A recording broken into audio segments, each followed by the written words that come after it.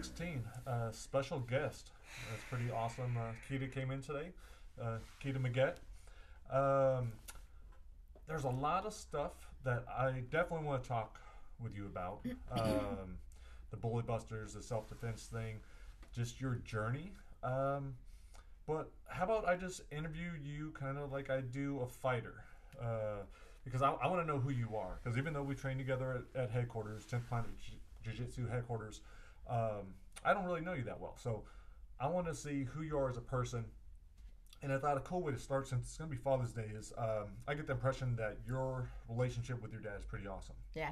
You know, and just from just that's just seeing it on Facebook, and on Facebook anyone can do put up whatever. But just Yeah. some of the things I've seen, I was like, that's the kind of relationship you know I would want with my daughter. So tell me a little bit about that. Like, what did he do? What was your childhood like? Um, you know, what did what did that give you? Um, my father, Furman James Meggett, is an amazing man. He uh, he is the strongest, best man I've honestly ever met in my life, and I I feel like he sets the bar for even people that I know. Um, he was a sergeant in the Marines, and then he was vice president of Blue Cross of California for a lot of years, and then uh, he let that all go and became an author and just always seeing him follow his dreams um, definitely set the road for me. Um, and we he's always been a very good role model and uh, always allowed me to be who i am. And i think that's the best is that in our family we all really just celebrate each other's individuality. That's awesome. Um, I think when a lot of people hear Marines, or maybe that's my prejudice, but I would think I would think more of a stern father. oh uh, he's some- stern uh, Yeah, he's stern. I mean, uh, we didn't get whoopings or whatever, but we had to do 25 push ups at age five, counting out loud with tears and You snot guys. and thro- dry heaving because he's yelling at us and saying, like, why'd you do what you did or whatever. Mm-hmm. No, it wasn't easy, but he's that's what I mean. He just, he represents such a, a great thing for me. You guys must have been those kids we would make fun of. Like, can you imagine being Sergeant So and So's kid? Yeah. Like, he's such a dick. Yeah. Like, blah, blah, blah, blah, blah. You know, I, that's funny. But yeah. It, but it sounds like he also gave you a tremendous amount of love, though, too, right? Heck yeah. Um, we come from uh, my brother and I. There's just two of us. We have such great parents. Both of them, the love. We've always saw our family be very affectionate. Um, I have friends that are like, "Oh, my parents haven't held hands," or I'm like, "Do they kiss? Do they like hug?" You know, and they're like, "No." Um, that wasn't our family at all. And uh, my parents were together for 18 years, and um, yeah, very loving, but definitely very strict and very open. And respect was always a priority. Awesome. All, all the ways around, though, like our parents respect us, Mhm. which I feel like usually doesn't happen, you know. big, but yeah. Both my mother and father both respect so much both my brother and I. I, no, I, I think that's awesome. Uh, That, that's one of the things I got from I think my older brother uh, and my younger one too.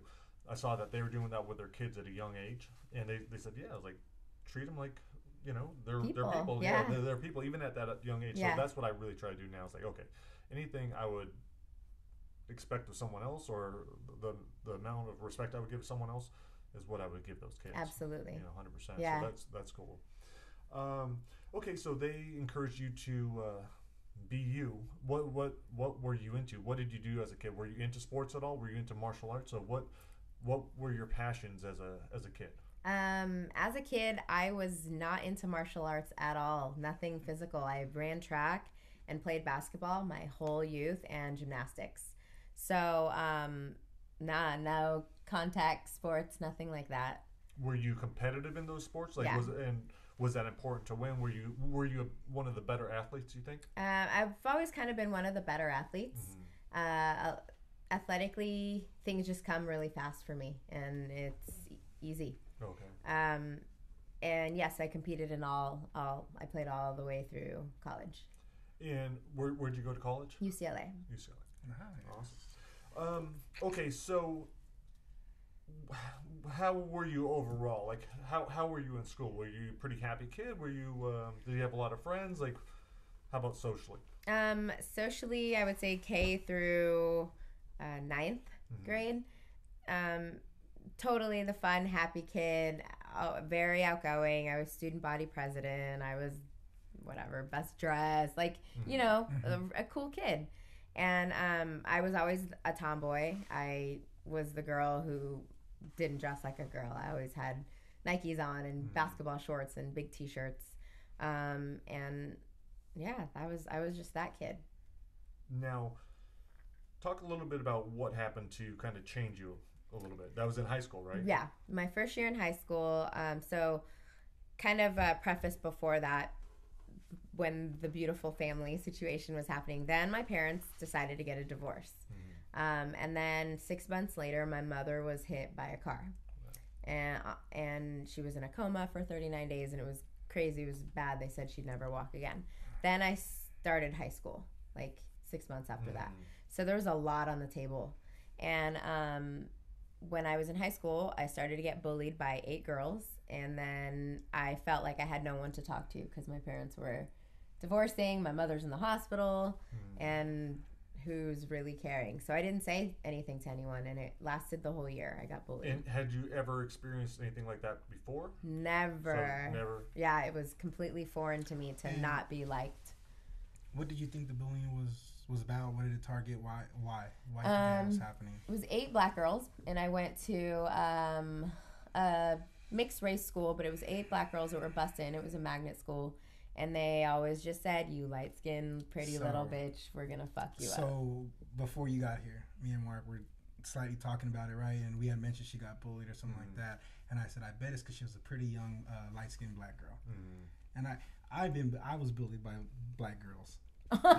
They used to pull my hair. Oh my and, and I would talk to other, you know, other girls Races, or yeah. whatever, and you know, so uh, I, it, it, it's such a funny thing that I already knew. Like she's light skinned, she's pretty. Oh, okay, I already know. I already know what's coming because it's pretty brutal. They're, they're pretty intense. I Yeah. mean, I'm, I'm a guy, I'm a man, and I remember being bullied and having my hair pulled, and yeah you know, them kicking me or pulling, ripping my Yeah. shirt, or messing my hair up so I Yeah. don't look good that day, or Yeah. spitting in it, or you know. and yep I guess I got I got bullied by girls. You oh did. My God. you Yeah, you know. Yeah. I would just go and play basketball.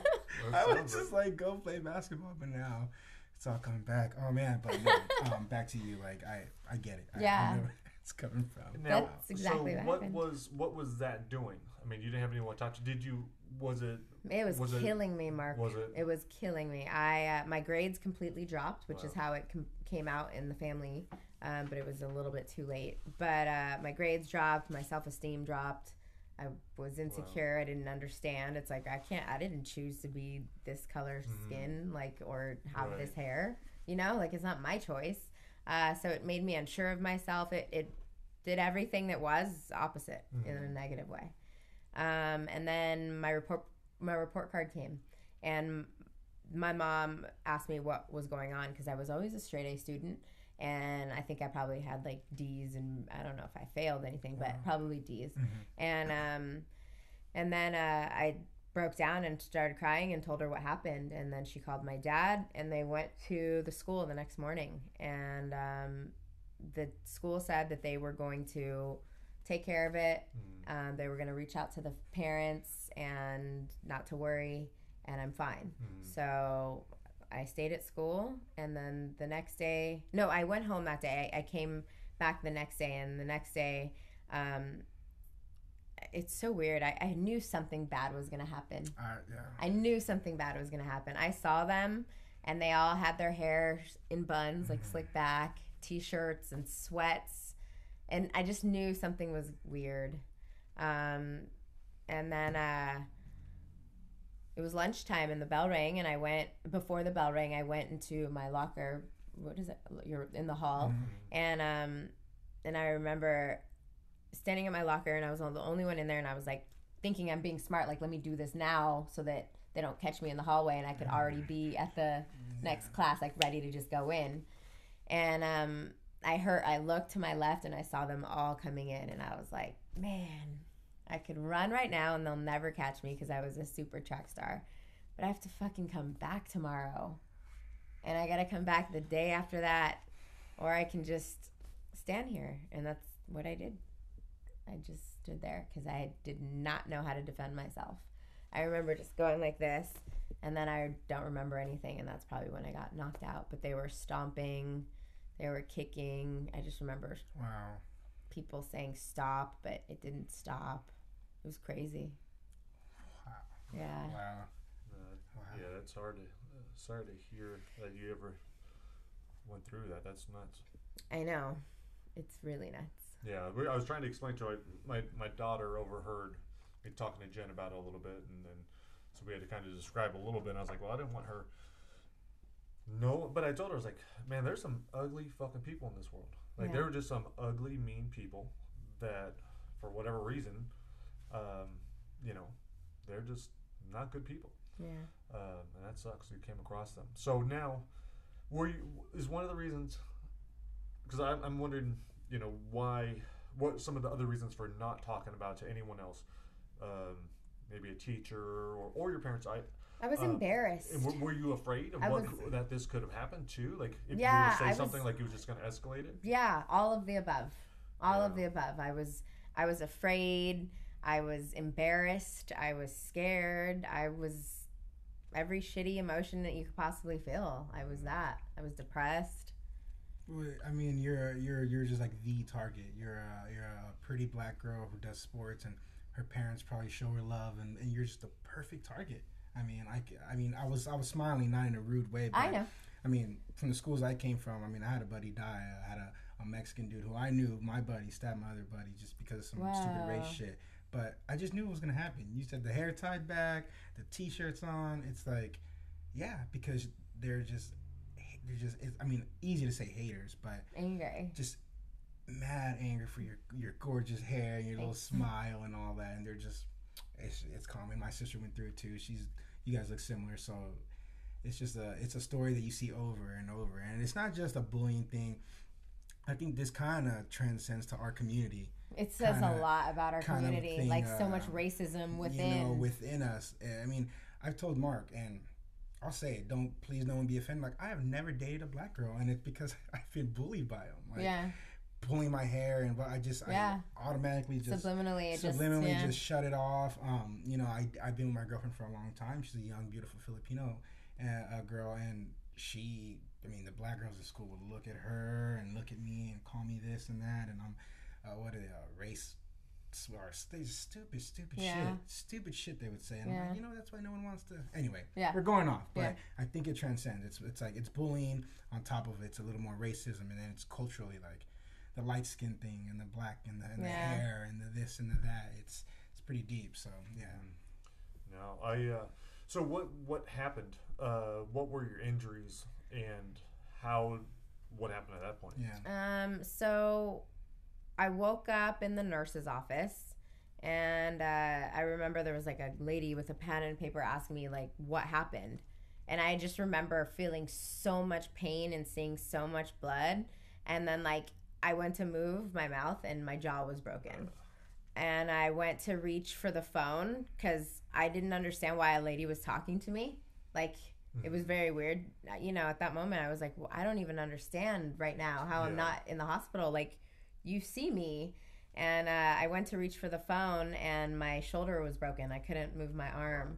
So then I reached with my left, and I remember you, I pushed nine and I dialed my mom's number, and all I said literally was "mommy," and she hung up the phone, and she was at our school in a walker because my mom had so many injuries from her What car accident. Fuck, man. Yeah, it's crazy. Um, and she just yelled my name in the hallway. I could hear her saying "Keta, Keta," and then they someone came in and grabbed her, and she walked in, and she goes, "What the fuck are you doing to my daughter?"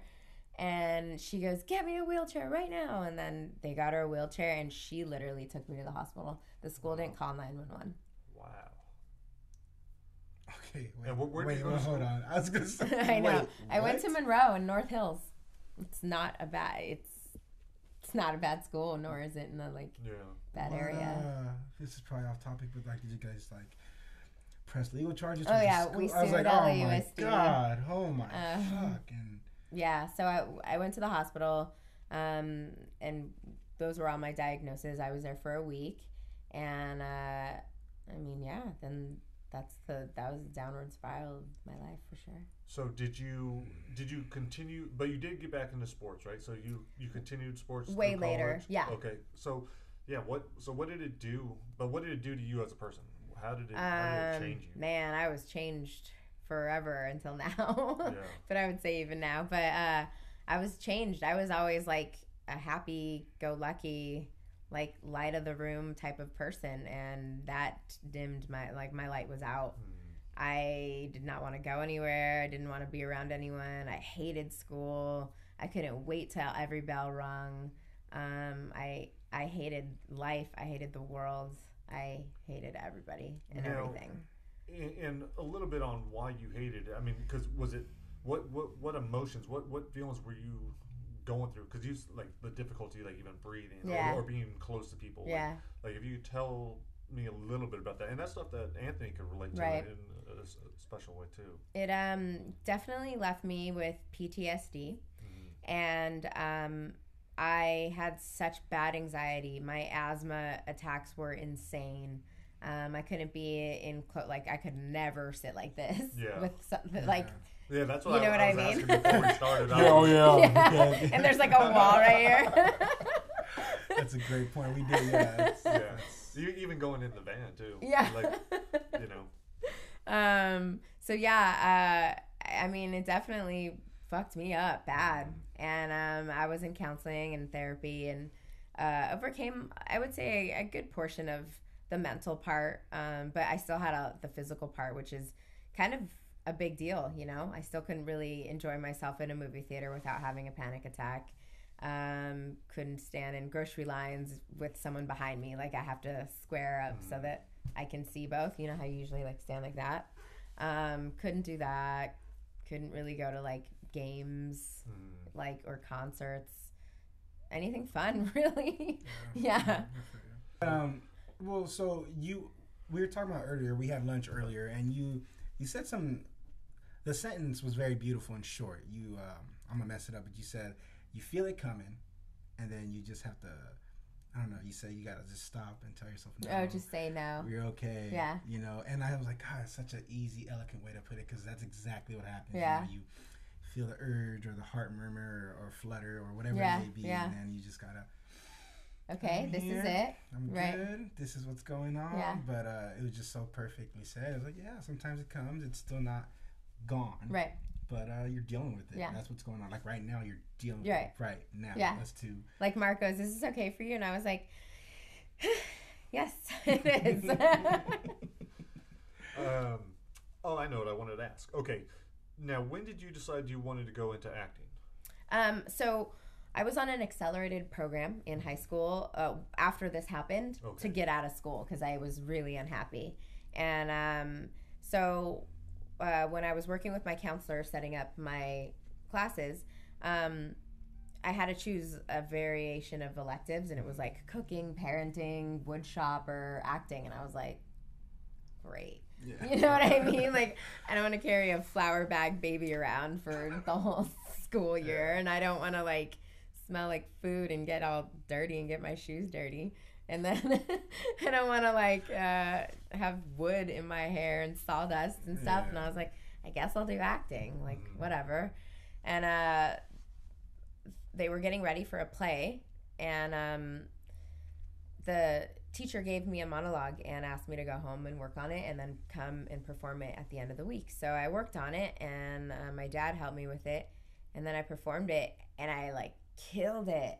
And it was the best feeling in the world for what I had been feeling. Mhm. Like it it made me feel so good and I was like, "Man, I want to do this." Like and I'm good at it. The teacher pulled me aside and he was like, "Wow, you're really good." And it was funny because the character in that monologue was crazy, so I was able to probably let go whatever I had like pent up. um, so yeah, uh, that's when I fell in love. That's when I got bitten It's by the acting bug. Prior to that, how did you feel like if you had to go do a speech in front of class? Did, did you have any No, I was- speaking? No, I was always outgoing Okay, and okay. yeah. Very cool. Yeah. So, and did you decide, like, from that moment that you did want to do that? You wanted to pursue that after college, Mhm. or okay? Yeah, but during college, everything I, I wanted to do. Now, do you think, everything you were going through though at that point, because you're still dealing with all the PTSD, do you think that was affecting your ability to act at all? Do you think that was holding you back? Um, no, I think it was actually where I could release. I was Really? say, Yeah. a good release. It was yeah. it was where I could be me in someone else 100%, you know? So I think it actually helped me be a good actress. Now, what point did things start to change? T- uh, talk a little bit about what happened that that made you being able to start deal with this a little bit better. So um, I was getting ready for a play, and the I I booked the audition, and the character was a pregnant crackhead who like lived on the streets. So um, I went in, killed the audition, booked the play. It was like a thousand seat theater here in Los Angeles, and it was a black play, and the NAACP was going to be there, and it was like a very big deal. So I was really excited, and I was doing character development with the director, who um, it was just him and I, and he was saying, you know, I, I we need to get deep and dark with this character. I don't, you have a very big light about you, and I, we have to turn it off for the play. He's like, I, I, you know, cast you because I saw your talent, but I knew we'd had to work on like making you believable. And I was like, okay. So he's like, we're going to talk about some really raw stuff. And he was like, have you ever been raped? And I was like, oh my God, no, thank God. And he's like, You have went you ever straight for the rape, Yeah. huh? Right. Have you ever been molested? I was like, hallelujah, no. Um, but and he just kept going, and we were just talking, and I ended up telling him about what happened to me when I got bullied. And he was like, whoa, like pause on the play. What you have and the story that you have, and the fact that you are like fine and you've overcome majority of it, and you're like, you know, there's a light about you. You need to do something with this story. And I was like, all right, whatever that means. Like, who the hell how is this a good story this is the Mhm. worst story in the world Yeah. um and like i don't know whatever so uh, it kept resonating in my spirit though like what do i do with this what do you mean like i have something good? Like what does all that mean? So i just started to pray about it and i was like lord guide me. What do i do you know? If if i'm supposed to do something with this and this is why it happened to me i want to know so i can do it. Um, and it just started to come to me that there was no company or person or organization that gives the things that kids actually need in school the tools that they actually need no one's doing that it's uh, most of the other bullying organizations are really about awareness and team bully buster is about the solution so um, that's how i started that and then um, it kind of just led into um, being on wow superheroes and then jiu-jitsu Now, so talk a little bit more about the Team Bully Buster. Okay. So when did you start it, and what exactly are you giving them? So um, I started a nonprofit organization called Team Bully Buster, and um, we instill confidence, we instill leadership, and we instill self defense in all of our kids. And those are the three components that will completely overcome bullying. And that's completely my opinion, but I'm a survivor of that situation. And um, I'm not a victim. I didn't, I, you know, like I turned it around and I have the tools. I know exactly what will help that problem. No, I, I, it makes complete sense too. And I, I've talked with so many guys that have been victims of bullies. All these, a lot of fighters, um, and then seeing how much being able to train, what that did for them, and how many said that they never would have been bullied in the first place Yeah. if they had that confidence as a kid. You know, um, so no, I'm 100 percent with that. Yeah. Now, so how like how does the program work? Is it um, is it like a one time thing where you're going and doing an event, or are these kids doing a little bit of training? Are you just giving them tools where you're showing them what they can do and they can continue this on their own a little bit? Um, Team Bully Buster is a 501c3 nonprofit organization, and um, it works many different ways. One, we are a lia- liaison between students and schools. Um, so a lot of kids, such as myself, when I was in this situation, felt like I had no one to reach out to, um, and to know that you can reach out to an anonymous company named Team Bully Buster, and they will contact the school on your behalf and Oh, cool. get um, people in on what's happening and make everything aware and then also follow up to make sure that it's a solution has been provided. Um, so that's one facet. The next facet is uh, i do speaking engagements um, kind of like TED Talks to motivational speaking. Um, and then also, I've come up with a curriculum, K through 12, that um, teaches the solution to bullying to faculties. So uh, we we haven't left Los Angeles, but we do Mhm. random schools throughout the throughout the nation or throughout the state, country, Okay. city, um, who uh, who are interested in having the program. Okay. And um, we go. You know, most of the people that are involved are from Tenth Planet, and um, we go and we put on this performance assembly, and it's amazing, and we leave a feeling of peace amongst that whole school. That's Beautiful. cool. Yeah. Um, what are some things that you think the faculty can do, or what are some things you guys try to show them or help them with that can kind of prevent this? Because I think they're a big factor Yeah. in Yeah. this. Uh, I mean, I, I, that's my own opinion, but so what? You know, speak on that. Um, I think communication is key. I feel like uh, bullying or when a kid tells a teacher, because teachers have normal lives outside of school, they've got their school life, they're dealing with grading, rules, blah, blah, blah, blah, blah. So when a kid says, so and so is being mean or so and so is bullying me or whatever, and they just say, say sorry, okay, go sit down. yeah. They, I feel like there just needs to be more of uh, paying attention, just really paying attention what's and really just going on. not shoo stuff off because it's out of hand right now. Like kids are losing their lives, killing each other, killing themselves because of how serious it is. So like let's not lose any more kids. Let's pay attention. Yeah, Yeah. I think I think one number I was surprised by. I think it's hundred thousand kids a day don't go to school Yeah. because of bullying. Yeah.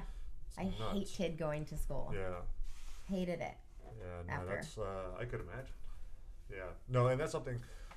Like I'm concerned because like I worry about my kids. Right. It's like I want to make sure, and I want to make sure that they're going to be able to tell me. You know. Right. Um, so for the kids that can't tell their parents or just aren't able to, how do they get hold of you guys? Can, do they send an email or do they phone Yeah. call? Like wh- where, where do they Um, send that? to- so that on to? our website, you can send an email through the website, or you Mhm. can email us at info at teambullybuster.org, okay. and one of the staff will reach back out to you and, and help you with your situation. That's awesome. Yeah. So um, so that's one of the facets, the curriculum, and then also we put on our own events and then just invite the communities out. So on those events, because I, I saw one, I think you had um, Alan. Yeah. He was there and a bunch of people. Now the kids are doing exercising and different stuff. What is what is that giving them? What, why is that? Do you think Um, that's a, is that one of the factors? Yeah. So it's a full day of empowerment. We have life coaches in the morning come in and do like really um, positive affirmations, like just pr- we- rewiring programming positivity Yeah. within each individual. And then uh, we break out and we do um, get warmed up, do lots of exercises. We've got some amazing coaches that are in the UFC and Bellator, and then um, and then we also just go over self te- self defense techniques um, in worst case scenario because worst case scenario is what happened to me, so it's important to know to me. Mhm. Um, so we teach the kids a how to fall, um, what to do if someone has them pinned up against the wall, if someone chokes them, if someone grabs their wrist, um, if they get put down on the floor. Um, we teach we worst case scenarios. We teach them how to get out of that. That's awesome. We're not teaching how to fight. We're teaching how to get out of situations. Yeah. That's awesome. Yeah. No, great organization. Thanks. Um, now, what? All right. So, did talk about that change. Talk about the change of uh, finding jujitsu and, and what that did for you. Why was why was it powerful? Um, finding jujitsu, 10th Planet specifically, because it's the only school that I've ever gone to, but um, really, really helped me completely overcome my PTSD um, that I still had with physical aspects.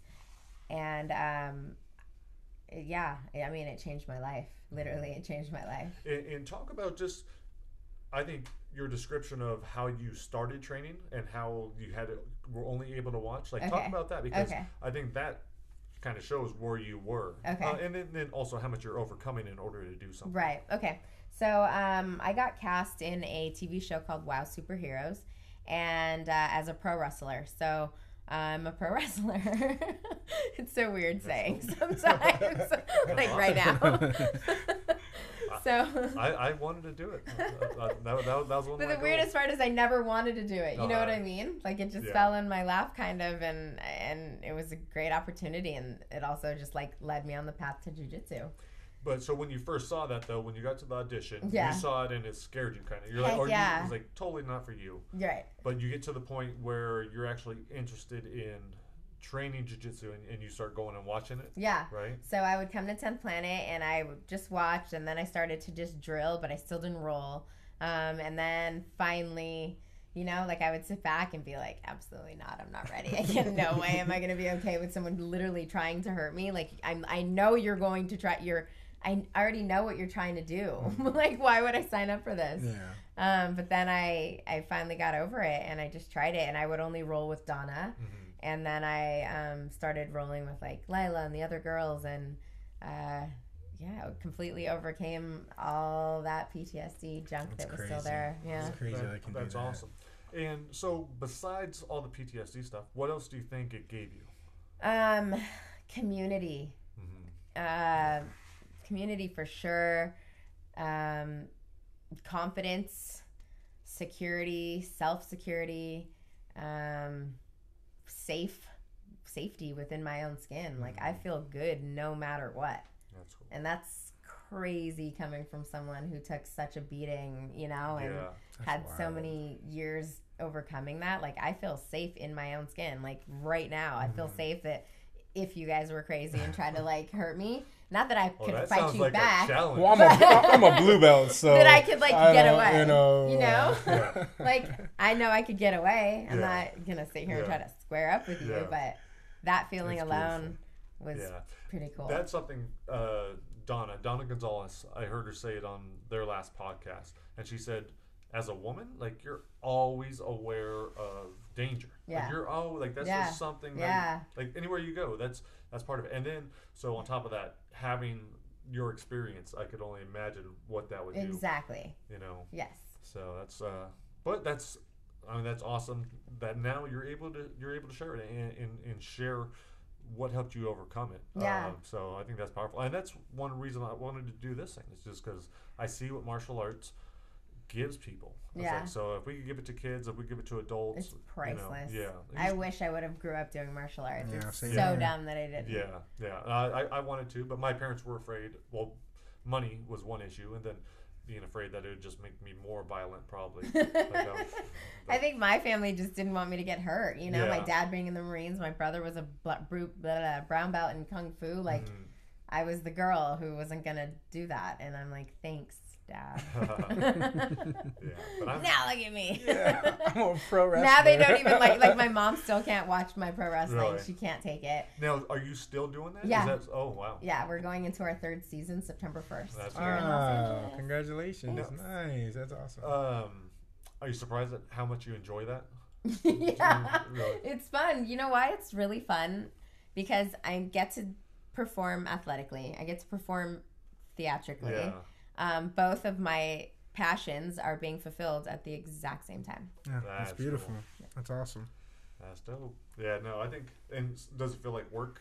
No, Yeah. it's so fun. It's Yeah. like I'm going to training and then I and then we just perform. It's so fun. That's cool. Yeah. Um, no, I, I think yeah, if you could find what you enjoy and just do that, like you're gonna be very good at it. Right. Um, so that, that that's dope. Which is like how we, you know, transpired into doing um, women's self defense. Yeah, that that's cool. So talk a little bit about that program. You guys just did you just have your first one? We had our first six week program. And then we're gonna have one Yeah. over here, which Yeah. is awesome. Yeah. So yeah, so tell us, tell everyone what that uh, what what that program is. So that program is called 10th Planet Women Self Defense, and it's partnered with Team Bully Buster.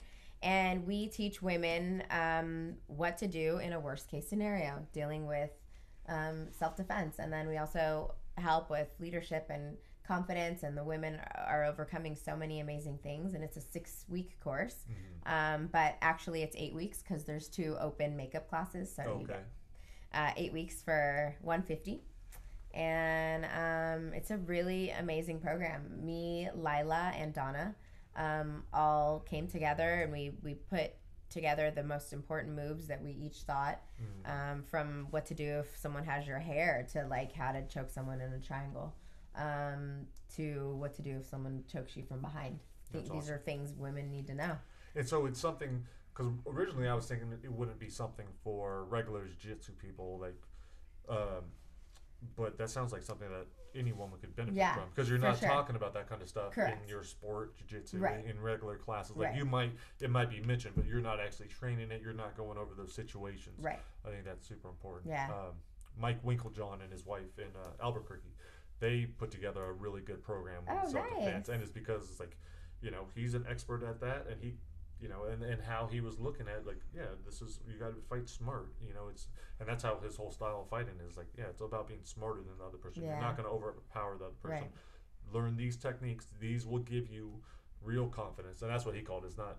It's not this fake confidence. Like, what you guys are giving these women is real confidence Yes. because they have real skills and they can see that they could do it. Um, one of the powerful things with Jen was before she started training, uh, like so six months ago, uh, let her put me in a rear naked. Livy had, and I was trying to get Livy to tap me out, and she was really trying and couldn't do it. then Jen tried, and she was able to do it, and uh, and she had never tried it before. She's like, "Did I really do that?" I was like, "Yeah." I was like, "You can do that," and just how empowering that is. It is. It's like I can choke out a, a bigger guy. yeah. And I was like, "Well, I let you, but." when we start training, now, now, now she can do it. Um, but yeah, so I think I think that's I think that's awesome. I think that's very cool that you guys are going to Yeah. be able to do it here. Um, yeah, something I, I know a lot of the women in our class are already going to want to do it, and then uh, yeah, looking forward to seeing who else comes. That's very cool. Yeah. We're really excited. and that's something I want to tell my friends about. I want to have my friends come and do it because I have so many friends that they can't come during the week. You know, they can't come and train with it's us on perfect Tuesday on a at 10 Saturday o'clock, morning Yeah, before the day gets started. yeah. So when do when does that start here? um, our new course starts here July 9th. Okay, and you have another one going on at headquarters. Downtown LA headquarters, yes. When does that one start? July 9th, same. Oh, okay. Yeah. All right. We might stagger it a week, but we'll put that on social media, on our Facebook page, and on the website, Okay. and uh, you know, blast it out. Awesome. No, I, I had a sure. quick question. Um, you know, with you having to overcome all your all your bullying issues and all that stuff, and fighting jujitsu, and now you're you're wrestling and doing all these, but jujitsu in specific, like how how hard was that for you to get over as a woman? Because you know it's hard enough for an average woman to come do jujitsu. Like my girlfriend took her a long time. Jen, you know, it was hard to convince her. For the average woman, super hard. But for you, like, what would you say to the average woman who doesn't want to try it because of the close proximity and all the sweat and all the everything that comes with it? You had to overcome some shit Yeah. to, to, to even start jujitsu. Yeah. And you know, you said you uh you stuck your toe in at first. You know, Yeah. just rolling with so and so. But as a woman, what would you say to any other woman who wants to try a mother or someone who wants to just try it but it's kind of like ill or this and Yeah. that like what, what like what's your advice to them Uh, my advice to hesitant women that are, you know are on the fence about starting jujitsu is uh, most lessons come in being uncomfortable, and so I live by that, and I feel like that shit makes me uncomfortable. I want to do it because I don't want something to have a hold on me. Hmm. I feel like that's not okay. Like I have charge of that. This is my body. This is me. So it's my mind, my heart, my everything. I get to control it, and I'm not going to live in a way that something else has a power over me. So I feel like the biggest lessons come in being uncomfortable. So get uncomfortable. Yeah. No, I That's think I think that's beautiful. awesome. I think that's uh, incredible advice. that's good stuff Um, oh, were you uncomfortable today doing yoga? Was that? Do you ha, have you trained yoga before? Um, I've done yoga for years, but not ever consistent. Like Okay. you know, I like go with like Lila to a class once a month or once every two months. Nothing Okay. consistent. But um, so today I felt really good. I was recently in a car accident. Mhm. um, that was really bad and very stressful on my body. So it was the first time, um, besides yesterday walking on the treadmill, that I did something. wow that's And uh, I challenged myself today. Thank you. that was cool. I needed that. And, you know, everyone's over the last month, I really lost motivation to like work out and train just because everything hurt. And um, that was that was a good push. Thank you. Yeah, no, you look great. I mean, uh, me and Mark were talking about it earlier, and uh, I never really planned my yoga classes. I always just go off of who comes in or what's going on. So no, you walked in fine. I mean, I asked you. You said your spirits were up. You seemed fine, and uh, we just kind of went for it this morning. And a little rougher than you thought, Mark. Yeah, I, I was I was ready for a nice relaxing. That's why I invited my wife. I, invited, I, I told Jen I was like, tomorrow should be peaceful and relaxing. I, I understand if you can't make it, but I would love it if you came. Uh, I think it'd be good for everyone. And uh, But I think Jen enjoys the strong ones because she's always She does. working and she's Yeah, stressed. she needs so that her to blow release. it out, Yeah. yeah. yeah, that's good. And she goes for it. So uh, no, but I was just glad you came down, had a chance to take it, and just you. That's cool. enjoyed it and Yeah. smiled and went deep and just went for it. So that that was really cool to have you Thank in there. you, So thank you. yeah, it was awesome. yeah, but it's going to be probably way more peaceful and long stretching. But that's probably what we can both use. I love it. Uh, not a- with me. But that was awesome that she was able to come. You know, I was Yeah. like, that was cool. She took time for herself, and I think that's what the big thing is. That's one of the things with uh, floating. Like Yeah. you're taking time for yourself. Like you're realizing, like, holy shit, I'm gonna waste an hour just laying down, like, and, and how hard that can be. Like I want a pad next to me so I could write down ideas, or you know, it, it's hard for us to uh, take that time. And and doing yoga has, has kind of helped me a lot with that Nice. because I could slow stuff down. Yeah, I and then feel you. also having, like I tell people all the time, like I'm more interested or just as interested landing yoga moves as I am, uh, like especially like a headstand or stuff like that, as Like I am jujitsu jujitsu. move, Yeah. yeah. So I was like, it's cool, a different way to challenge yourself and just to heal. Like my body gets all torn up, so yoga's nice and healing for me. Yeah. This is why I dig it. well, I like Mark because he he goes for it. Yeah. You know, you don't see a lot of guys our size going for it and closing their eyes and saying I love myself. Yeah. You know, but uh, Mark really goes for it, so it's cool. That's and dope. that's what I'm trying to bring, trying to get all the big dudes like us to kind of just like. Were you always such an open person? No, no, no. When we first- no, no. I, I, was- I'm Mr. Fucking grumpy, miserable. Really? So when we Oh, first started yeah, doing yeah. Hated myself my whole life. What? uh, stu- suicidal my whole life. no. Yeah, yeah, yeah. No, I absolutely. And that's like what I, that's what guy. I that's what I like to tell people. Um, and because even even when I had my daughter, so and a lot of it I realize is jujitsu. Like for me too, and for and, and just training overall. Because so I stopped trying to fight in like 2004. Um, didn't do anything for eight years. Just got you know heavy, out of shape, and so I was almost 40 years old. And then that's when I decided to do unlocking the cage, and I started like I would just get killed in classes. Like I couldn't even get through the warm ups of a class, and then I would start adding on and got to the where I could start actually training and sparring and uh, doing all that. Um, so I think that's where a lot of the changes came. But I was miserable. I was I was grumpy, mean, hated myself. Wow. Yeah, I've had guns in my mouth.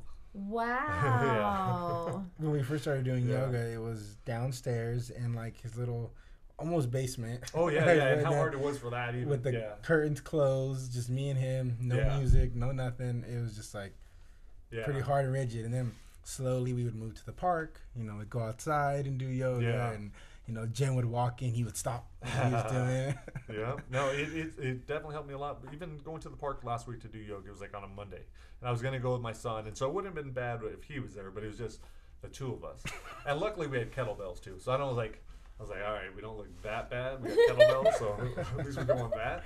Um, but then it was, it was just a good lesson. Like I, it made me uncomfortable, and I realized like how ridiculous it was. No one was watching me. No one cares about me. Um, so it was cool. But uh, yeah, no, it's definitely changed me. Jiu-jitsu has changed me. Um, I cannot believe Yeah. you were a dark person. oh, super, super. Have you read super, his Super. read his that's stuff? What, that's where all my that's where all my uh, dark stuff comes out. I what think. stuff? Um, all my fiction. I, I write horror. I write. Uh, what? yeah. oh yeah, Yeah. Mark's uh, He writes horror? yeah. Oh my is- goodness. This is the one that we're gonna be Like sharing. blood and guts and death? This one will be for All you. the, all the above. Yeah. Yeah. Is This- this a happy book or no? This is not so happy. We're on chapter eight but it today. says the bright side. Yeah. Wow. Uh, I tried to. I, I think it's a positive book. I think it's um, I think people can take positive stuff away from it, but yeah. yeah, it's about if you're able to know the thoughts of those around you. Like Oh, government that's find, tight. yeah, government finds out these people can do it, rounds them all up, sticks them in town, but really getting at like.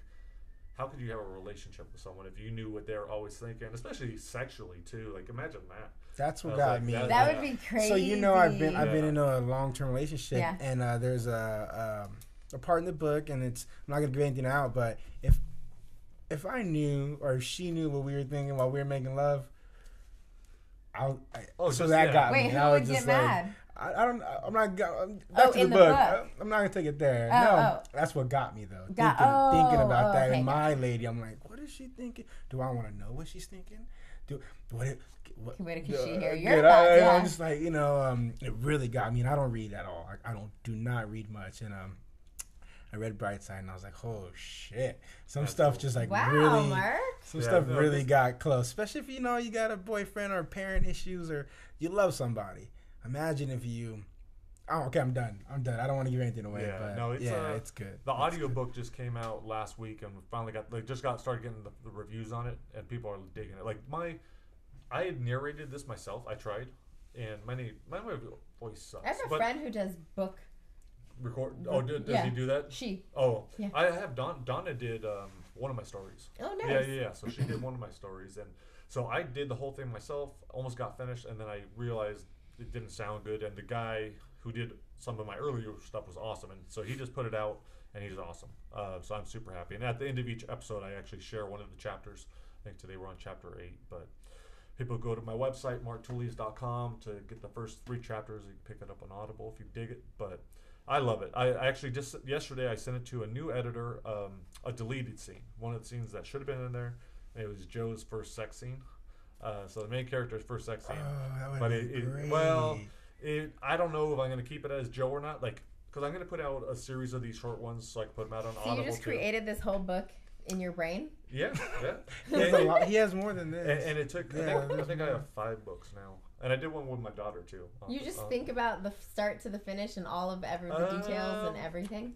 It's yeah. like really, it- you wrote every word yeah, in that's here. you know what that's what I that's what I do for enjoyment. Like that's what I'm that's what I get excited about. So that's my like if I could be alone with some bud, some tea or energy drink, and a, a locked room and paper and pen, like I'm happy. Like I could do solitary confinement, like house arrest. I could do whatever. Um, I was like, yeah, I was like, sign me up. I could just write all day, and I'll be I'd be happy. It doesn't feel like work. That doesn't feel like work to me. Wow. It's a little bit harder writing the MMA book because I can't make stuff up and I'm trying to like be as I- I- authentic as yeah, and I think I've had a lot of pressure, put a lot of pressure on myself because it is such powerful. I've heard so many powerful stories, whether they're about bullying or loss or, or whatever, um, and people overcoming things. So I want to do that justice. So that's a little bit harder. But like this is like, eh, I get But to kill people off. I get to write whatever the fuck I want. Yeah, like going back to overcoming things, like if you like you, you're all surprised because you know Mark, you roll, you've seen him, he's he's all happy, but you read this and you would expect him to be like some hermit type character to be, you know, it's such a parallel. So I think it's really cool. Like that's definitely your therapy, dude. Like I getting can't deep and dark that. and like cool. Yeah. letting it go, but putting a story to it and making me feel it. Like someone who's not an average cool. reader, like probably read six books in my life, you know. So that's, yeah, no, that's- that, that that helped me a lot with the confidence. So I've al- we've talked about that. I've always struggled with like self confidence. Uh, I've always thought, I- I've always thought I'm, I was an idiot. Like even though I went to Brown and all this other stuff, I still like to this day I still have to rewire my brain. I have to when I think that way, I have to like no, I have to look at this, this, and this. I'm not an idiot, but I still have that voice in my head. So. But and that's what I like about us. Like we're able to talk about those things. Like yeah, I still deal with that. I still deal with shitty days. I still every once in a while like that feeling like maybe yeah, it's like, you know, um, Leslie Smith, the UFC fighter, uh, had a great talk with her about uh, about choosing to be positive. Like she deals with depression, she dealt with like severe depression, and it's like it's an active choice where, yeah, it's like you want to if you want to be positive, like do positive things, surround yourself with positive people, and uh, yeah, and just and just keep going that way. Like, I might have this negative thought 100 times today, but every fucking time I'm gonna catch it. I'm like, no, we're going this way, we're going this way, we're going this way. And then tomorrow maybe I only do it 95 times. So, uh, but yeah, so I've been, yeah, that's one of the reasons why I'm passionate about Yeah, sharing I'm so cool inspired stuff. by you. Oh, awesome. That's pretty cool. I would have never ever guessed that. Cool. I, I guess that's maybe how people feel when they meet me and hear my story. They're always like Yeah, Exactly. blown That's why- away. Like I've, it's, I'm not really blown away. I don't get to cool. meet like that's like that's cool. It's very Awesome. rare people are that raw. I appreciate yeah, it. no, awesome. Yeah, I think, uh, and that's one of the things I love about writing too. And I actually just asked Donna if she'll do it because I'm gonna I'm gonna have Donna write uh, the second part of this. There, there's a sequel to this that I'm gonna write on my own. But then there's gonna be like an in between book called um, I have a series called Try Not to Die. And the first one is Try Not to Die at Grandma's House. And every couple pages you have to like choose something. If you choose the wrong way, you die. And there's like only one right way through the whole thing. But we're gonna do a Try Not to Die in Brightside. I already knew I wanted Donna to narrate it, so I'm asking her to write it with me too. I just think it's going to be powerful for her. Um, but I just gave her a writing assignment, and it's an assignment that changed me as a person. But he was talking about writing about that moment in your life that after you were d- different, um, called Dangerous Writing. It's an awesome. It was an awesome exercise from uh, Tom Spanbauer and uh, his partner Sage. Um, but having if you if you do that as a first person, like if you're talk about your instance about seeing them in that hallway, if you go to that moment in time, even though we just talked about it, if you were to go back to that moment, By go back to myself being and that write. li- being that girl, uh, and giving me two pages, uh, first person of what what happened. Just tell me exactly what happened. It would be pretty powerful. And we could and we could develop it into something really good, and, it, and it'd be it'd be super helpful for you. Anthony's tried one. I tried and Uh, I couldn't get through a lot. But but you but, but, but, but you got through but you got through you got something out of it though. no, yeah, I got a Right? big release. Um, not a dad issues, all that typical black black kid story. Yeah. But um, try to sit there and write. I just got mad, and then I got sad. It was like fuck. th- Yeah, I. Yeah. Well, I tried to type it, and then um, I sent it to Mark. But like as I was typing, it was like all these errors and just period, and like fucking. oh, you put it in all caps too. Some were all caps and like oh, cause I uh, I dimmed out my screen. I was like I don't want to see it. I just want to like remember it and just go. Dang, so I you sh- really was struggling. I showed it to Mark and it was like, caps, yeah, yeah. And he was like, uh, and it was just so crazy that. So what he's talking about, dangerous writing, it was. Uh, Haven't done it in a minute. Kind of scared of it. It's but cool. I, that's that's yeah. what I that's what I enjoy doing. Like, gotta, you got to go deep, and so the whole thinking is you, you know, you you know that wound is there. It's like open it up and go go deep, scrub it out, clean it. Uh, I think a lot of people we think we've gotten over something, or you don't want to think about it again, and just kind of put it there.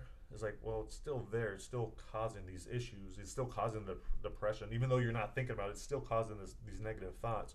So until you actually address it, um, yeah. So if you're ever interested in doing that, I'd like to develop that. I've developed uh, a couple stories with different fighters. I might put out a collection of that. Like I, I think that'd be cool. That is Uh, so cool. yeah, of course. I will do that. Okay. That's Yeah, I think it, I think it's fun. It doesn't have to be that moment. Like Yeah. you know, you've talked about, it, you've dealt with it. Maybe there's something else. We all have those moments Yeah. that like, fucking, we just want to forget about. Maybe something super embarrassing. Maybe it's whatever. But whatever it is, there's something there.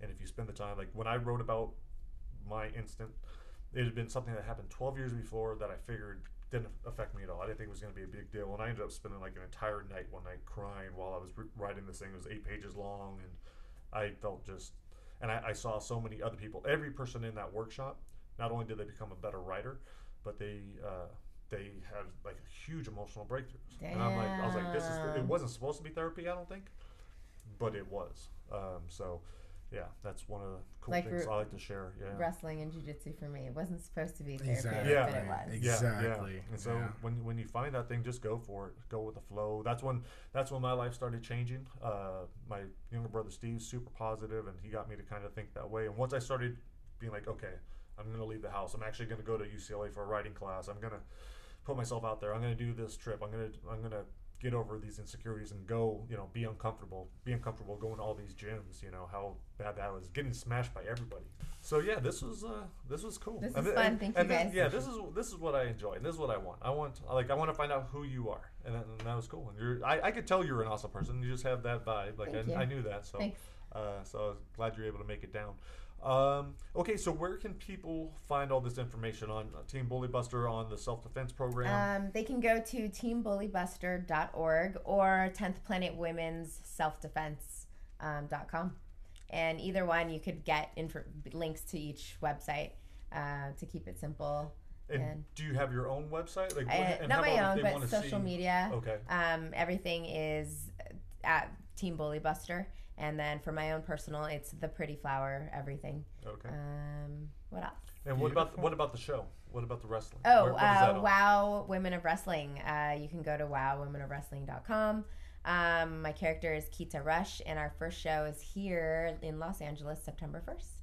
Nice. We got Awesome. tickets, dude. Yeah, totally. You guys have VIP tickets. Oh, Nice, sweet. for No, no, we'll be there. That's that, that is really yeah, cool. it's for family, so like bring the kids. Oh, it's, oh. it's not TNA. It's like inspiring and fun, invigorating. It's it's Beautiful. good. It's We- we- empowering. We took uh, Olivia and all her friends to EBI. nice. Yeah, and, That's and they loved super it. They, cool. they were actually looking at too. Like they saw the body triangle. Like Oh, I can know do that. that. Yeah, oh, yeah, that's yeah. tight. yeah, so that was really cool. That's so cool. But no, I think that'd be, that'd be that'd be a lot of fun. We'll do that. Cool. Um, Awesome. So yeah, I think that we're And gonna this wrap is it for up. me? Yeah, that book is for you. I will sign that for you. Uh, chapter eight today. Um, yeah, if you haven't listened to the other chapters, probably go back. They got something really cool on Audible right now. Instead of paying twenty bucks for it, uh, if you download the free Kindle copy, then you could get it for like three forty seven, Oh, which is super cheap. Um, but if you don't have three forty seven and you really want to hear it, just send me an email and I'll probably hook you up at mark at marktullius.com. There it is. All right, guys. Thanks for listening. Keta, thank you so much Thank for making you, down. This sister. Thank is you, awesome. guys. Thank you, Love thank. All you. right. Cool. We're out of here. No, that great. Wow. Chapter 8 On day 61, the sun was out and it was kind of warm, so I asked Danny if he'd like to go fishing. He started jumping up and down, clapping his hand against the fist that held the faded blue pencil. I took that as a yes. We cut a small hole in the ice. The pond didn't have any fish, but I kept it to myself. We just sat quietly on the bank, Danny's mind as calm as Michelle's on the pills and whiskey. I guess that's the other reason I liked hanging out with Danny the silence. But two days later, Danny became the loudest thing in Brightside. He ran up to me on the street and nearly knocked me over. I need a drawing. I hated to spoil his fun, but he couldn't hold still. Oh, okay, Danny. I just calm down. No, I need it now. I, I have to go to work. Please, please, you gotta. What's going on? My sister, she's coming. The next day, Rachel's desk was no longer empty. Danny's sister Sarah sat there, everything neat and organized. Nothing personal to distinguish her workspace from anyone else's, except one of my drawings Danny wanted her to have. Rachel had been the opposite papers scattered, pens everywhere, pictures of her father, mother, dog, and cat spread along the edge, a proud collage of her past. I was stupid to date Rachel. First time I saw where I was going to be sitting, I should have told Carlos I needed a new desk. I should have said I needed somewhere I could be by myself, somewhere I couldn't hurt anyone. My whole life's been one big should have. Should have known better, should have listened, should have paid attention, should have stopped worrying about everyone, should have realized I'm only as dumb as I let myself be. Sarah dialed another number. Some lady in Kentucky about an island getaway. She followed the script but made it her own, telling each person how she'd always dreamed of living by the ocean. It sounded believable, but her thoughts told me she didn't want to be anywhere but Brightside. It was creepy. I mean, there were some who believed Brightside wasn't so bad. People like Sharon and her puppet Vanessa, women so positive it made you sick. But Sarah was the first I'd heard of that really wanted to be here. She turned herself in on purpose, demanded to be reunited with Danny. They kept her in a cell for a month. No one turned themselves in. She must have had a plan, a scheme. They interrogated her, deprived her of sleep. But Sarah never cracked, just kept whispering her brother's name. The picture I'd drawn for Danny, the one with the boy escaping through the brick wall, sat on her desk. For me, the picture was about escaping Brightside. For Sarah, it was about breaking in. Sarah was 20 when their parents had died. Danny was away at a special needs school. She took him in, cared for him, made sure he wore clean shirts, combed his hair, fell asleep in bed and not in the chair watching cartoons. All morning, Sarah and I hadn't shared a single word. She was already working the phones when I'd come in. She wanted to make a good first impression. After what she'd been through to get here, I didn't blame her. Finally, on our break, Sarah caught me staring at the drawing. She tucked a long strand of brown hair behind her ear.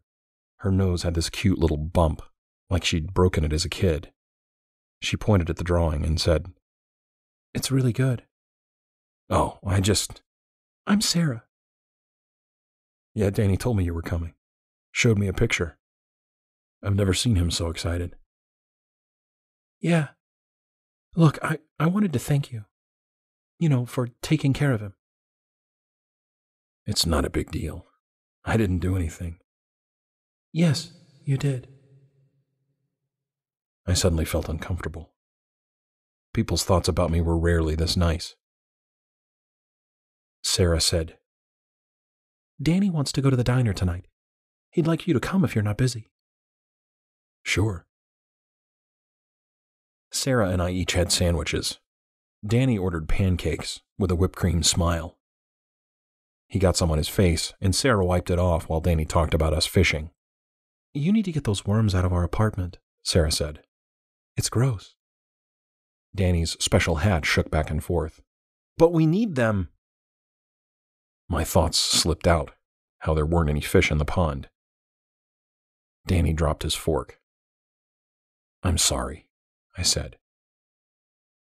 He picked up the fork and started thumbing it. You, you lied? Danny, cut it out, Sarah said. He was being nice. He lowered his head so all I could see was Danny in bright red letters. He was pissed when he said, But you lied! I know, but I still like going with you. I thought about my apartment, my dad's first gift. Danny raised his head, his eyes big and shiny. After we paid the tab, we went back to my place and I dug around in the closet. Danny was hopping around and Sarah told him to stop it, that he was shaking the floor. He probably already heard my thoughts, but I still said, All right, close your eyes. Danny squeezed his lids so tight I thought he might squish his eyeballs. I put Billy Bass into his open palms. Danny smiled. I pushed the button and it still had a little juice. Billy turned his head and sang. Danny's laughter filled the room until the batteries died. Hold on, there are extras. I pulled out the D cells from the closet. Only they didn't fit. It was strange. Danny said, It's okay. He opened his backpack, pulled out two C batteries. They popped right in, and Billy came back to life. I couldn't believe my father had given me the wrong size. It said C right on the box. I set the unusable batteries on the counter. They felt strange, a little light. Sarah was annoyed she was going to have to hear this damn song every night. Okay, Danny, I, I think that's enough. Danny started hopping again, but this time it wasn't out of joy. Sarah told him to put the fish down and hurry to the bathroom. Danny had to hit the button one last time before handing it to Sarah and scurrying out of the room. Sarah was looking at Billy Bass. I said, Sorry. She said it was okay and cracked a smile. He loves it. We stood there awkwardly, neither of us really knowing what to say. She was tired, thinking of her bed. I saw how beautiful she looked, even that little bump on her nose. She turned, embarrassed. I was picturing her lips on mine, and she didn't feel the same way. I was destroying her opinion of me, and for the first time, I realized how hard it was for women in Brightside, having to hear all the nasty thoughts men carried. Danny came bounding back in, breaking the tension. I think you should get a dog, Joe. I tried saying I wasn't a pet person. Lily's breath on my feet, a puff on my arm. Fucking cowards. Sarah felt awful for hearing my thoughts. We should probably go. It's getting late. Yeah, I'll see you both tomorrow, I said. Danny collected his things and they walked out, leaving me alone with my thoughts of my dog and those fuckers firing into her whimpering body. I was 10 years old in my mom's new car, holding my yellow lab. Sunny wasn't a puppy anymore, but just barely. I'd had her for six months, and she wouldn't leave my side. For the last week, I hadn't left hers. I had one hand holding her tiny head to keep it from quivering. The other picked all the yellow hairs off the leather. No need to give my mom another reason to freak out. She found Sunny throwing up in her room, fur falling off in clumps. Dad had carried her to the car. I was in the back seat, leaning into the corner furthest from Mom, the safest spot. Mom pulled over to the curb. Okay, you two, get out. Go do whatever you have to do. Dad was in the seat right in front of me, his head three feet away. When he said Mom's name, he stretched it out, let her know it wasn't right for her to talk like that. Mom pulled down the sun visor, checked her fire red hair in the lighted mirror, poofed up the sides. What? I didn't say anything. She hadn't, but she was thinking she hoped they'd put Sonny to sleep. Dad opened the passenger door, put one foot on the sidewalk. Are you going to park? We might be a while. And I'll be here, Mom said. Dad got out and opened the back door, helped with Sonny. She was shaking real bad in Dad's hands, so he gave her back to me once we got on the sidewalk. I held her against my belly and cradled her in both arms. She looked up with eyes that had lost all their shine. The sliding doors opened and a blast of cold air blew down from the vent. Sonny shuddered real hard, needed to be held tighter, have a hand on her bony back to keep her warm. There were two people at the counter, and nearly every seat in the waiting room had someone in it, a dog or a cat by their feet. Most of the animals didn't look sick, not like Sonny. Dad got in line, looked down and saw me shaking. Why don't you have a seat, Joe? There's one right there. Sonny liked it better sitting down. I gave her a quick peck on her head when no one was looking. She didn't react, just closed her eyes. I put my finger in front of her nose and couldn't feel a thing. Finally, a small puff. Then, keeping her eyes closed, Sonny stuck out her tongue, licked me once to say she was still there. The girl with the braces smiled at Dad. I'll let the doctor know. Go ahead and have a seat. Before Dad even got to me, Dr. Gentry stuck his fat face out of the back and waved us over. Hank, I've been waiting for you.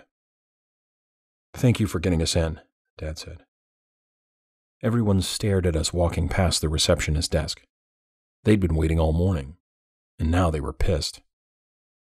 None of them knew Dr. Gentry and Dad shared a secret. Dr. Gentry showed us into his office that was half the size of a real doctor's. He sat behind his desk, his fat finger pushing up the eyeglasses that didn't hide his beady pig eyes. He then took Sonny to the examination room and ran tests.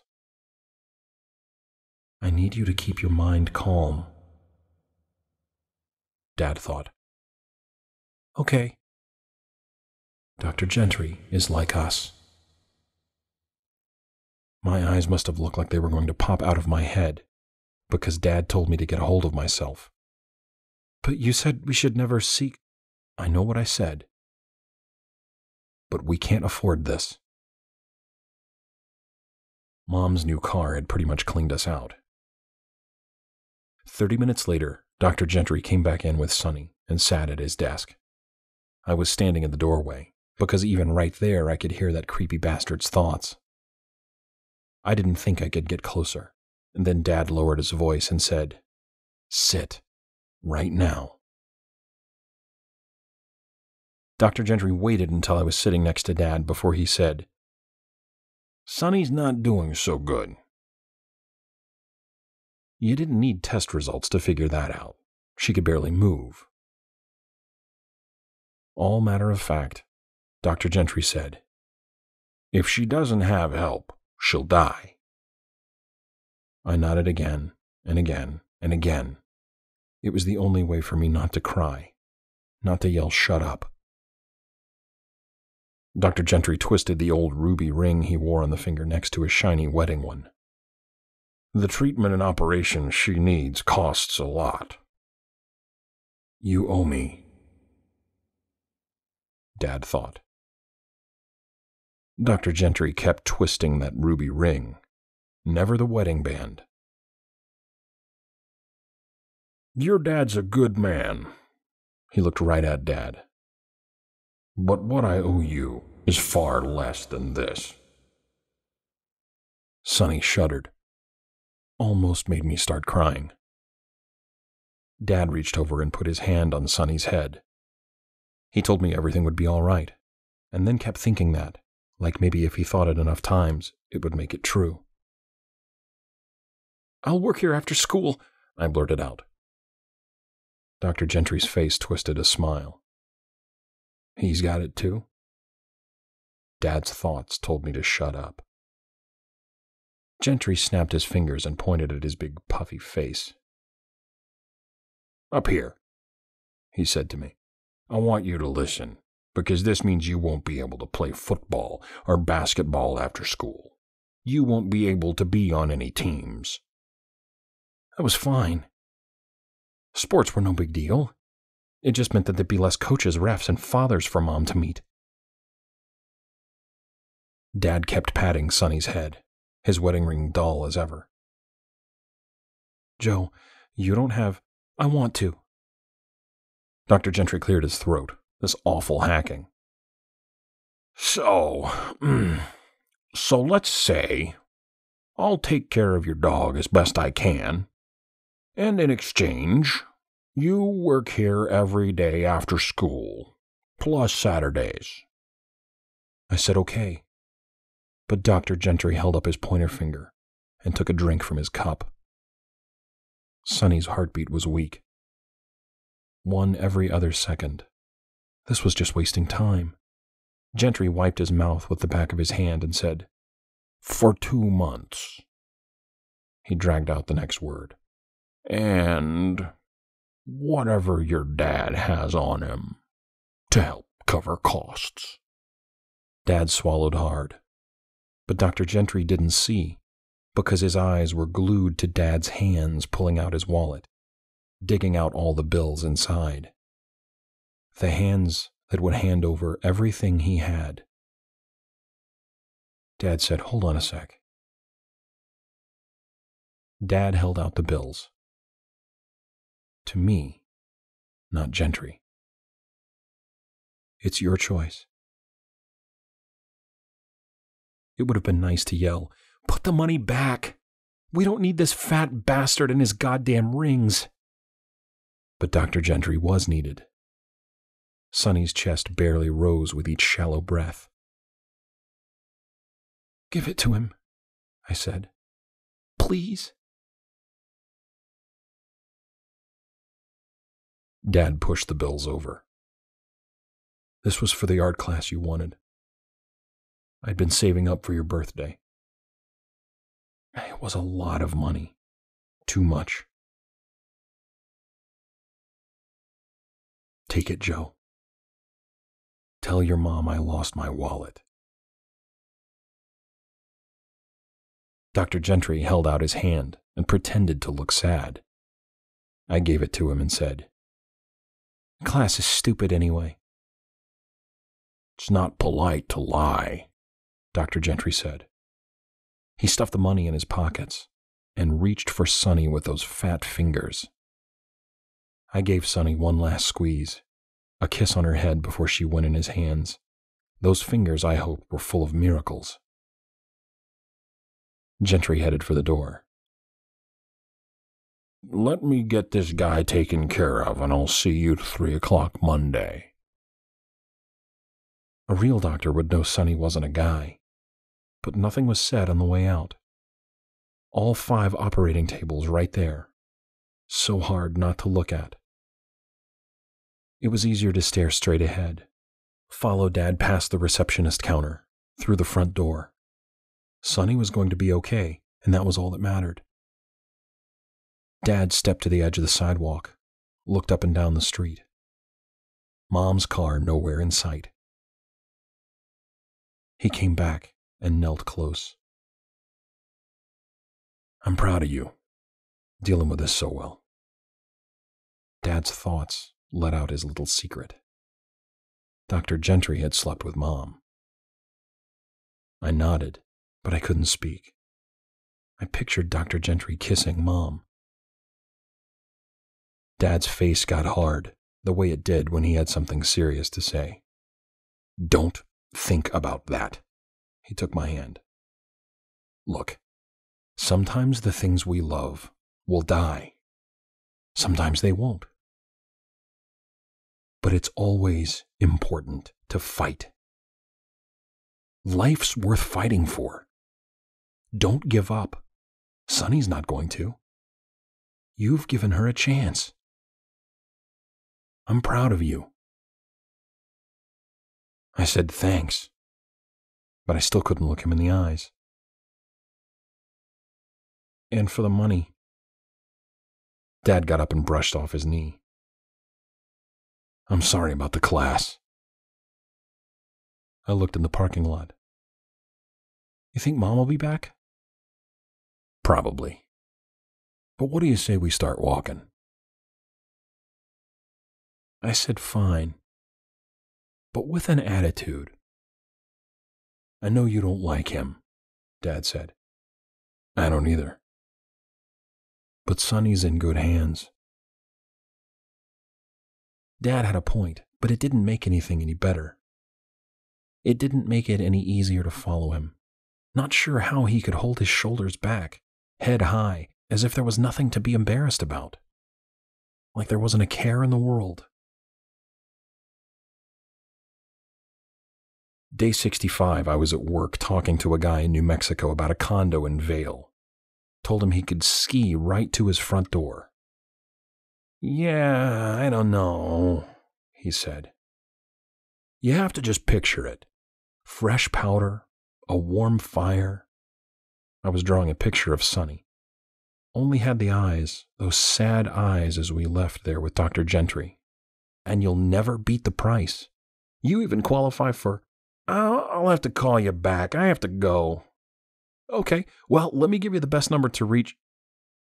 He'd already hung up. I set down my pencil, stared at Sonny's eyes that took up half the page. No mouth, no nose, no face, just those eyes. The irises were so brown I colored them black, red squiggles stretched across all the white. The eyes were terrified, the eyebrows angled up, because she just wanted me to stay. Sarah said, Can I see? I banged my knee on the desk. I had no idea Sarah was at hers. When'd you get in? Sarah took off her black pea coat and put it on the back of her chair. Just a few minutes ago. I said hi. Sarah had on a silver turtleneck, sleeveless. I'd never seen her arms. The scars crisscrossing her flesh. Permanent reminders of how she used to deal with her gift. She nodded at my notepad. Anything good? I flipped to a fresh page and said, Nah, just scribbles. Sarah put on her headset and turned to her screen. How are the calls? There was no point in lying, but that didn't stop me. Good. It'll turn around. You have to just stick with it. Sarah and her optimism. It's what got her here. The belief that things would get better. She'd eventually be reunited with her brother. I, um, I had a good time with you and Danny, I said.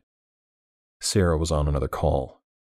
I looked down at the desk, wondering why I had to be such a creep, picturing her lips on mine. Sarah spun in her chair, mouthed, Me too. It made me smile. Sarah spun back, telling a woman how there were only three units left. I started to pick up the phone, but one more hang up, one more stop calling, and I was going to lose it. Carlos's door was closed. I picked up the pencil, not sure what I'd draw. Something I could share, not be ashamed of. Like Sonny. My hand got moving, etched the outline of Sarah's desk.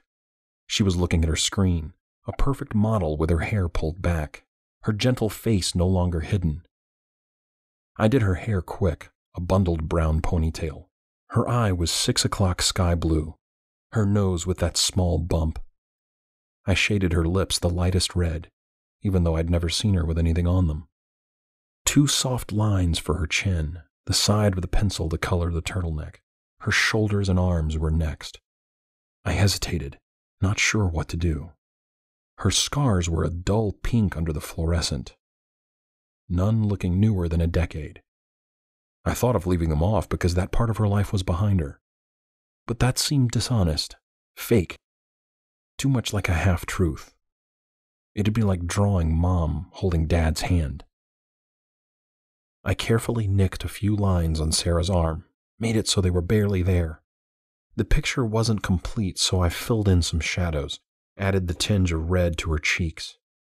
I had to make her smile a bit bigger, too, like the moment she saw Danny after processing. I took my time tearing it out of the pad, folding it in half. I felt like a first grader on Valentine's when I got up and handed it to her. Sorry about. Uh, sorry. I quickly walked back to my desk. Sarah tried to keep the woman on the line but lost her. She took the paper, opened it up, and didn't say a word. She couldn't pretend it wasn't her with all the tiny scars. Sarah sounded so young when she said, I can put on my coat if it bothers you too much. Oh, God, no. No, please. I, am sorry. You you look great. I, I was just I didn't She leaned back in her chair, but we were still in range. No reason to lie. Some people prefer I cover up. I don't blame them. Sarah, they're idiots. If they don't like the way you look, they're blind. You're beautiful. She kept looking at her arms. Oh, yes, gorgeous. Your scars just show you survived. I took my time looking at her, letting her know everything I said was true. They show you've been through some bad shit. That wasn't what I meant to say. I wanted to make her feel good, to let her know I loved that she was showing them to me. She must have heard me, because Sarah's cheeks got a bit more colorful. Thanks. I mean it. I'm just telling you. I don't know, it was just a drawing. And I like it. Sarah taped it to the wall where we could both see it. Oh, you don't have to put it up. Sarah smiled and swiveled toward me. It's mine, right? I said it was. Heard Sarah thinking maybe I was a nice guy. Then she hoped I wasn't going to start thinking. It was too late. My pad turned back to Sunny. Five days of injections hadn't made a difference, so Dr. Gentry started her on an IV, strapping Sunny down so she didn't pull it out. She wanted to fight, to run. She wanted to go hiking. She wanted to pull my dirty socks out of the hamper and play tug of war until they were reduced to rags. She wanted to wait until Mom turned off the lights and locked the door so she could jump on my bed and snuggle into the warm spot beneath my arm, little snores all night long. Demarius, this huge black telepath who worked security for the building, was suddenly standing beside my desk. His wraparound sunglasses and crisp uniform said he had power, but this was Brightside. No one had any control over anything. Damn, Joe, Demarius said. You cool? I had no idea how long he'd been standing there, or what he'd heard. Lying was pointless, so I just shrugged.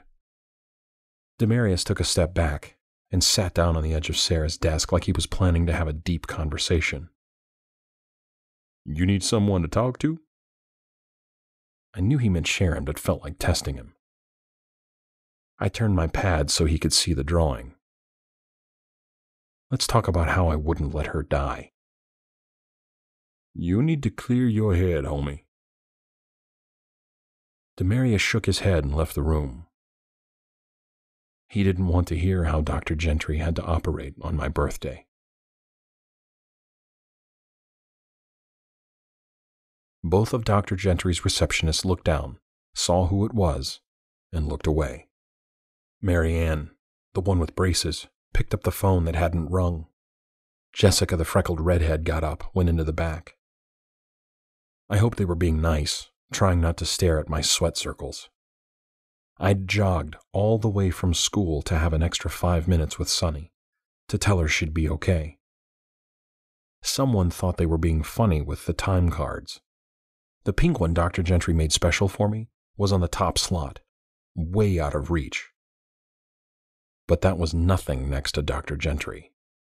He'd pass me in the waiting room and let his thoughts fill my head. Images of Mom's sweaty body beneath him. He knew I wanted to punch him. He knew every violent thought flowing through my mind. He'd just smile, because there was nothing I could do. He held Sonny's life in his hands. I just had to grit my teeth and take it. Pamela was at the end of the hall looking like a Q-tip with her rail-thin body and puffy blonde perm. Even if she wasn't busy moving stuff around in the cupboard, she wasn't the person to ask for help. Pamela was one of those people that smiled real big all the time. The kind of smile people give when they're really just holding back a scream. After a few minutes, the exam room's door swung open. Nancy headed down the hall looking at her clipboard. Nancy was the only one who could weigh with the big dogs. She knew the others laughed behind her back because she looked like a man, but that didn't stop her from always smiling. Real ones, nothing like Pamela's. I was so glad to see her. I wanted her to be the one to give me the good news about Sonny. That she was all better, like a miracle. Nancy would have loved to say that. She didn't think I was just a stupid kid who got in the way. She didn't think Sonny wasn't important. She thought Sonny would be okay. I waved Nancy down and pointed at the pink card. Can, can you help me? She tried to smile, but it crumpled. It took her a minute to start talking. Then all she said was follow her. She walked past all the tables, the place quieter than ever. Everyone's eyes trained on their patient or tool, or each other. Nancy turned around in front of the door to the last operating room. She put both arms around me and pulled me close. She didn't say a word. It was hard to breathe with my mouth smushed against her chest, but Nancy kept hugging. She wanted to take the pain away. She knew it wasn't fair. Nancy couldn't say she was sorry, but she was. Her eyes wet when she stood and walked away. Everything got super quiet. The occasional beep and buzz too loud. The door was wood with a big window too high to look through. The door pushed in, squealed the whole way back. Everything was dark. Then I flipped on the switch, and it was way too bright. Sonny curled up on the table like she did in that space below my arm. The place that'd be empty forever. I lowered the lights, so they were just barely on. I stepped onto the table. Sunny smelled like she did that first day I got her. Her fur was so soft except for the parts they'd shaved off. They'd given her a bath and closed her eyes. The eyes that had showed so much love no matter what. This was the last time to see Sonny. Last time to pick her up. Hug her tight. Let her know she'd be missed every day. My tears fell on Sonny's face, bounced off the bright collar that never got a chance to get old. From the other room, Nancy said, He's in here, Mr. Nolan. The door opened, then closed. Dad didn't get off work before five, but he was stepping up right behind me. I'm sorry, Joe, he said. I really am. Crying made it too hard to talk. There were no words to say. Everything hurt, and it always would. Nothing would ever make that better. Dad put his hands on my shoulders to keep them from shrugging up and down. In a way he hadn't said it before. Dad said, Control it, Joe. I was trying to, but Dr. Gentry had killed Sonny. I knew it. I know this hurts. It hurts me too, Dad said. He walked around so I could see the sadness behind his glasses. but it'll pass, and you'll get over it. Not this. Not Sonny. Stop shaking your head and listen to me. He held my chin because I didn't. You're feeling a lot of things right now, but you need to relax. He bent down, got eye to eye. You're sad, scared, alone, pissed off at God, at Dr. Gentry, your mom, me. I couldn't stop sobbing. Sonny was dead. Look at her. Dad raised his voice to cover my crying, not because he was mad.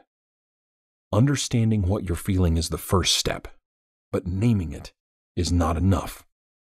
Then you've got to think about it, rationalize it, use logic. Logic said Sonny was dead, always would be. Just a piece of meat. Stop it, Joe. Dad went back to holding my shoulders. You're feeling an emotion that you're in control of. It's your brain. If you want to be happy, you can choose to be happy. Dad's brown eyes were getting shiny behind his glasses. If you decide to be angry, that's how you'll be. It works in degrees, and you won't always get rid of what you're feeling. Lots of times it's just postponing it, but that's all right. Dad put his hand on Sonny's head, the other on my hand. There'll be plenty of times where you can think about Sonny and miss her, way too many times. Then you can cry all you want. Dad checked over his shoulder and turned back, his face all hard. But don't ever do it in front of that prick. Dad stood and pointed at the table. The table was cold, too cold to put Sonny on. The whole room was cold and smelled funny. She couldn't just lie there by herself. Dad said my name real slow. Knock it off and put her down. Sonny went down all relaxed, legs going out each way. Her nose was cold, not wet. No more snores. One more kiss, and that's it. It's better that way, Dad said. He knew it was true, thinking of holding his first dog, Brutus, while the shivering pooch threw up its insides trying to get rid of the poison. I gave Sonny one final kiss on the top of her head and turned my back on her. Dad took off his glasses just long enough to wipe his eyes. I'm proud of you. That's what it means to be a man. It's easier to be controlled by sadness and fear, hatred and jealousy, and all of that other bullshit than it is to control them. The man talking right then wasn't the same man that came home after work every day. This one was someone to look up to. There were no more goodbyes. We just went right through the door, into the main room, right past Donnie, who thought it was pretty queer for me to be holding hands with my dad, past Felicia, who said she was sorry, thought, poor kid, that dog never had a chance. At the counter, Jessica said sorry too, like it could make it all better. And maybe it did a little, because she really meant it her bottom lip all shaking because Sonny looked like her princess. I tried to say thanks, but it came out all mumbled. Jessica understood. She said to take care. Then, Dr. Gentry came out of the consultation room. He said he was sorry, but didn't sound it. Go ahead and take tomorrow off, too. Instead of running out of the front door like my after work dad, Dad stood right there and put his hand on my shoulder. Joe won't be finishing up. Gentry went red, used his I'm not mad voice. It'll be good for your boy to learn the value of hard work and fulfilling promises. He already knows both of those. You have any idea how much that dog cost us? Well, it wasn't enough, so we're leaving. Dad turned for the door.